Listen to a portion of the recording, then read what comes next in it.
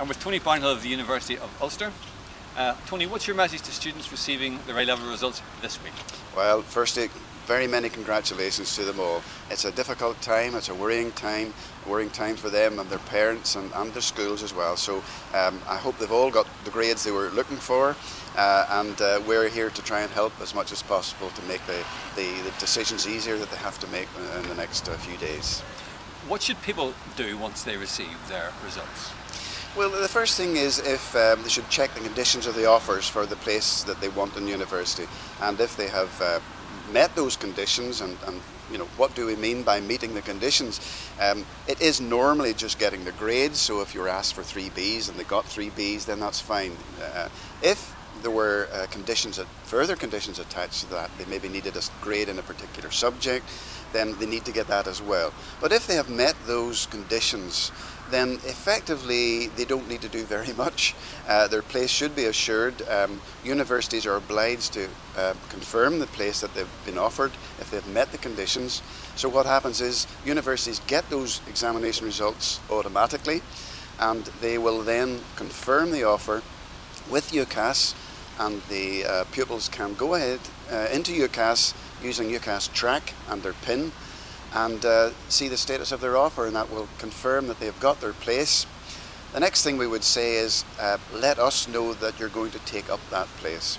Uh, for obvious reasons, we need to know it's a very fast moving situation. We need to have those courses filled up for various reasons. If you're not coming, we need to know as well, because obviously that can free up a place for some other student in the same situation.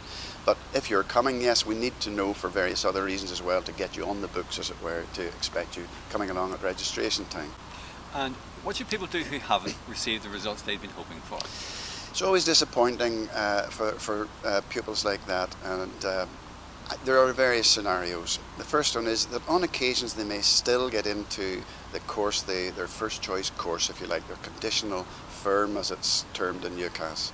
Uh, that depends very much on how other people have got on. So have every, has everybody else got the, the grades there? Well, um, that's not a guaranteed thing, but there's a slim chance they may still get onto their original course.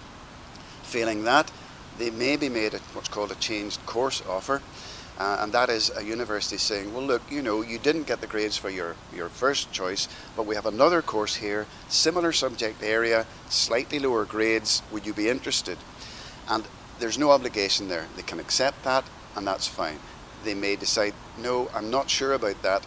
I'll, I'll just move down to my second insurance offer, which is the conditional insurance, the CI sometimes term, and the same process takes place there again. So if they've made the grades and the conditions for that insurance offer, their place is assured again. That will be confirmed through UCAS in the same way as, as I've mentioned. But again, if they've missed that, they might get a change course offer on it. And failing those uh, options coming up, the, the next thing would be clearing. So if they've no live offers uh, on the books at all, so to speak, they would then go into clearing. And clearing is, um, as most people know, a subsection of UCAS. It's a, it's a process whereby unplaced students are matched up with unfilled vacancies and courses. Less places available in, the, in recent years because of the competition, so there are fewer uh, courses in clearing now, significantly fewer, and that means you've got to act really quickly. They've got to get in there. Places can be in and out within a day. They can disappear within a couple of days. Uh, so get on there uh, and the vacancies will be publicised on the website and various other uh, media. Uh, you just get in there and it's it's spade work. You've got to move quickly, contact the universities. But yes, places can be secured that way as well. So various scenarios, various uh, opportunities for help and advice right down through those different uh, sequences.